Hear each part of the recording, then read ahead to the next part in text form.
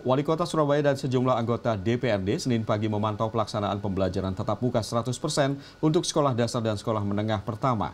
Meski demikian, masih ada wali murid yang menolak anaknya ikut PTM karena khawatir dengan COVID varian Omikron.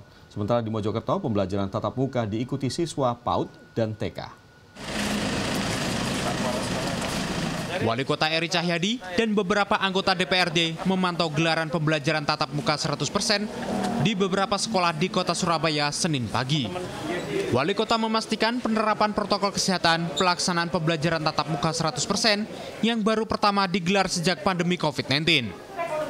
Pembelajaran tatap muka serentak digelar 10 Januari 2022 oleh seluruh sekolah dasar dan sekolah menengah pertama di Surabaya. Secara teknis, jumlah siswa yang mengikuti kelas tetap dibatasi. Kelas juga dibagi dua sesi, yaitu kelas pagi dan kelas siang. Karena itu, Pemkot akan mengevaluasi pelaksanaan PTM pada akhir bulan ini.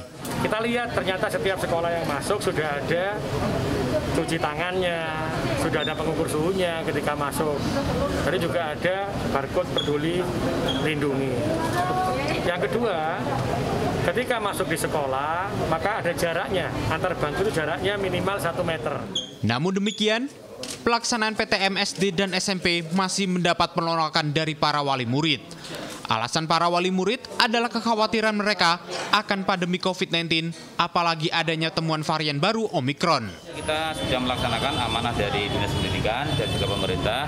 Kita telah melaksanakan PTM secara terbatas 100%. Tentu untuk prakteknya tidak 100% bersamaan dalam satu waktu, namun kita membaginya dalam dua shift. Kita secara prokes juga Alhamdulillah menerapkan sebagaimana telah ditetapkan oleh pemerintah. Sementara di Kabupaten Mojokerto, setelah tertunda satu pekan pelaksanaan pembelajaran tatap muka di sekolah dasar, sekolah menengah pertama, PAUD, dan TK akhirnya digelar. Di sisi lain, dari data Dinas Kesehatan, capaian vaksinasi anak masih sangat rendah, yaitu sebesar 49 persen.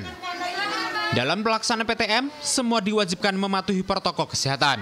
Uh, karena kita kan sudah melaksanakan PTM sejak lama.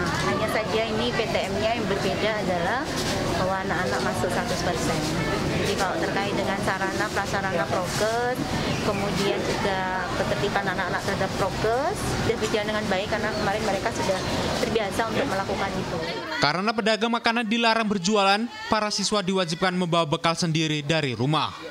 Tim Liputan